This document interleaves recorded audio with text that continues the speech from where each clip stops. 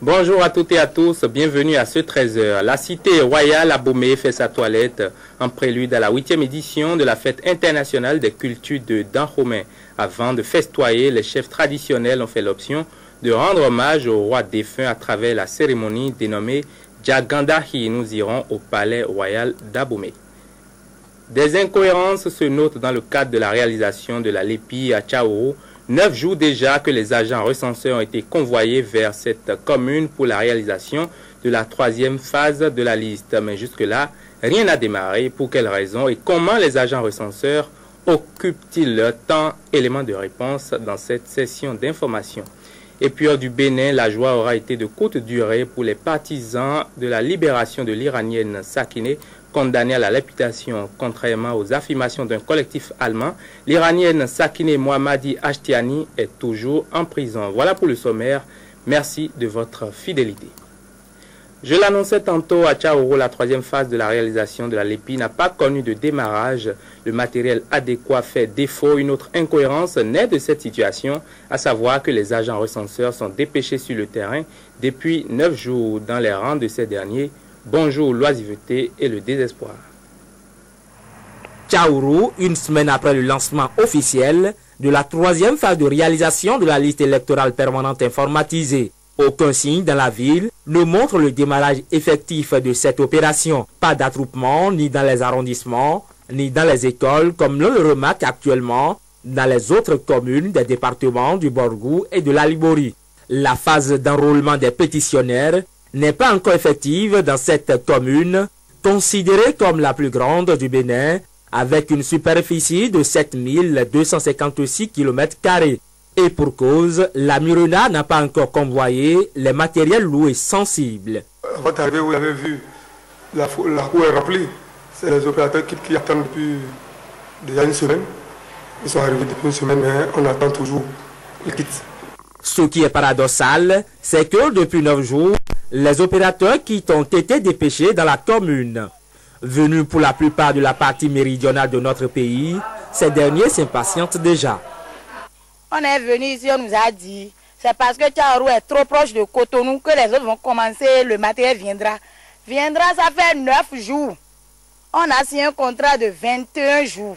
Et la Mirena a l'habitude de faire quelque chose, c'est le jour où vous commencez, on compte à partir de ce jour-là. Nous, on est déjà sur le terrain. Si le travail n'a pas commencé, c'est à cause d'eux. Et nous vivons des situations pas possibles. Les gens sont malades, ils ne viennent même pas demander ce qui se passe. Chaque fois, ils disent non, ça va venir. Le ça, là, c'est qui? Va venir là, c'est quand? Des actions sont en train d'être menées par les autorités locales pour qu'au démarrage de la dite opération, elles ne connaissent pas de dysfonctionnement. Tous mes chefs villages, les conseillers communaux, on était en réunion d'hier, on était en réunion on a expliqué comment les stratégies à mener pour pouvoir sortir les gens, pour qu'ils puissent se faire enrôler. Voilà. hier, on avait fait la réunion, avant-hier aussi. Et comme vous le voyez, moi, je reviens d'une tournée. C'est tout juste pour dire aux gens que tout ce qui se passe à Cotonou ou bien à Malanville se passera aussi à Tchaourou. C'est dans ce sens que nous avons commencé déjà par faire une sensibilisation à la base plusieurs fois reporté, le démarrage de la troisième phase de réalisation de la LEPI, spécifiquement dans la commune de Tchaourou, est encore prévu pour ce samedi 11 décembre. Célestine Zanou, présidente de la dynamique du changement pour un Bénin debout, livre ses réflexions sur la marche que connaît la politique au Bénin. Les fruits de ces réflexions sont assemblés dans un document intitulé L'alternative crédible, 19 propositions pour établir la politique au Bénin. L'auteur exhorte la classe politique à mieux se mettre au service de la cité. Le lancement de cet ouvrage s'est déroulé hier. Judicaël Ayadokon pour le compte rendu.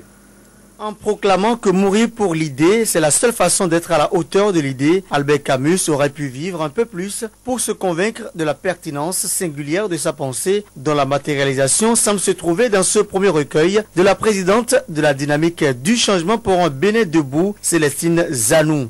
Un recueil de 156 pages intitulé L'alternative crédible, 19 contributions pour rétablir la politique au Bénin.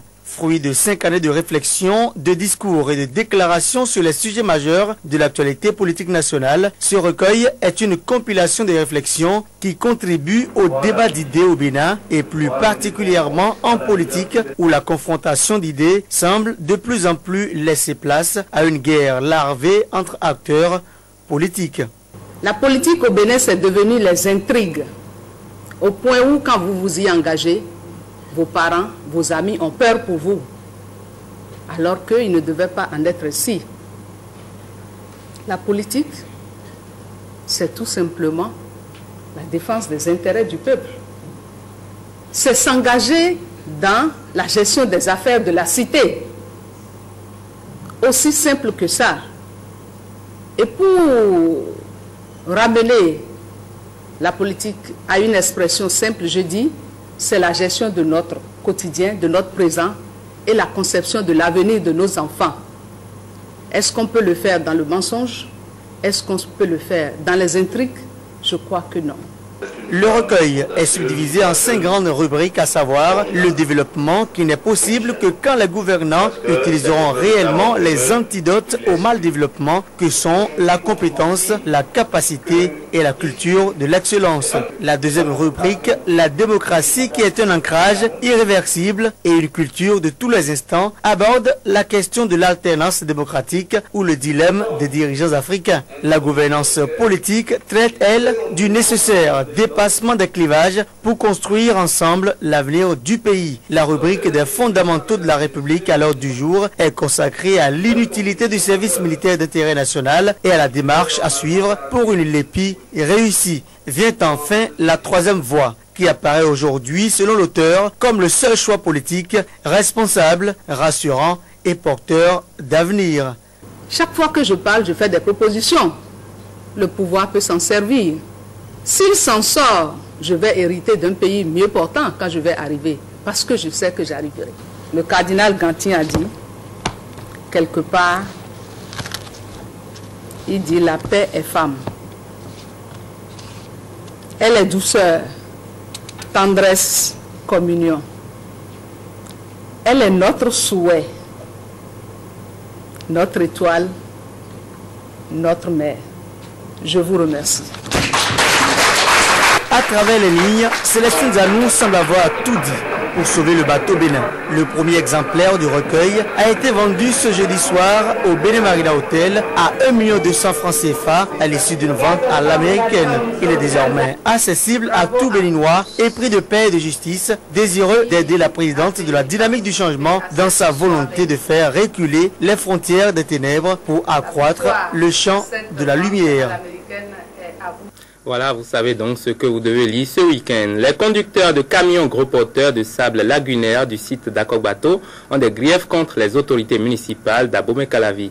Ils n'admettent pas les récentes mesures de la mairie quant aux taxes à payer. Ces conducteurs de camions gros porteurs ont manifesté leur désaccord hier. Ronald Robinson, jette dans Rissou. Ils avaient l'habitude de payer 1000 francs comme taxe d'exploitation des carrières et 500 francs pour les frais d'entretien de la voie un total de 1500 francs de taxes que ces conducteurs de gros porteurs payent sur chaque voyage de sable ici à Fignon-Roux sur le site d'Acorbato.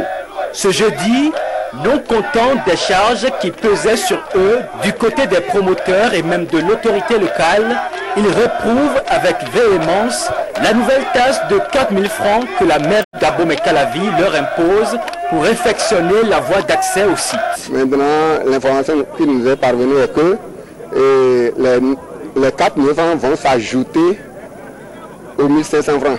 Donc euh, nous nous sommes allés contre parce que nous ne savons pas là où on va, vendre le sable. Puisque euh, ces surcharges vont toujours baser sur les, les pauvres transporteurs et la petite population. Le prix d'un voyage de sable s'élève déjà à près de 40 000 francs compte tenu surtout de la cherté du sable pratiquée par les promoteurs de carrière, des frais perçus par la mairie, sans oublier les frais de carburant. Conséquence, la difficulté pour ces vendeurs de sable d'écouler ce précieux matériau de construction. Ça s'est élevé jusqu'à 38 000 voire 40 000 francs. Donc, si nous allons ajouter la charge du gasoil et les tracasseries secondaires, on n'arrive pas à s'en sortir. Si on vendait le sable à 50 000 francs, voire 55 000. Mais toi, de dire, mais mon deux corps, au pouvoir, il pas que Il y en a parmi nous qui font trois jours avant de vendre un seul voyage de sable. Qu'est-ce qui se passe? Aujourd'hui, nous les chauffeurs, nous protestons. Ils sont bien décidés, ces conducteurs, à ne pas payer cette nouvelle taxe et rejettent carrément le motif de la réflexion de voie soutenant cette imposition. Que je vous explique. La mairie n'a jamais rien réparé. Ce sont plutôt les promoteurs des carrières qui réparent les voies. Que ce soit à Dekongbe, à Togbe, vous verrez que ce sont les opérateurs des carrières qui remblaient les voies. À compter de ce jeudi, ils observent une cessation d'activité et ne vont plus se recharger que ce soit sur les sites d'Akobato, de Tobin, de Dragon, de Ganzoumain et d'Amarou, jusqu'à ce que satisfaction soit obtenue du côté de la mairie d'Abomey-Calavi et des promoteurs des carrières de sable. Sur le site de la carrière de dragage de sable d'Akogbato, les populations de Fillon ont elles aussi manifesté hier leur frustration par rapport aux nuisances et menaces que leur causent les opérations de dragage de sable. Dans les bas-fonds, les habitants dénoncent le non-respect de l'environnement par les promoteurs de la carrière de sable d'Akogbato ainsi que l'indifférence des autorités face à leurs problèmes. On retrouve Ronald Robinson et Just Donrissou. Ils ne comprennent plus rien. Du jour au lendemain, ils se retrouvent exposés aux nuisances que peut créer l'installation d'une carrière de dragage de sable à proximité de leurs habitations. D'abord, c'est le bruit. Considérant les nuisances sonores qui perturbent le repos des habitants, du mépris des tests en vigueur en la matière dans notre pays. Ensuite, c'est la proximité inquiétante du site par rapport aux habitations, preuve que le périmètre de sécurité des opérations de dragage n'est pas respecté, font constater les riverains les plus proches. Considérant que jusqu'à présent, nous n'avons aucune information sur cette opération qui menace nos habitations, dont certaines se retrouvent à moins de 20 mètres de la zone de dragage du bas Face à ces changements qui sont loin d'améliorer leur quotidien et considérant l'indifférence des autorités après toutes les démarches menées à l'endroit de l'arrondissement de Godomain et même de la mairie de Calavi, les populations riveraines de ce site d'Akobato ont trois exigences. 1. L'arrêt sans condition de l'opération de dragage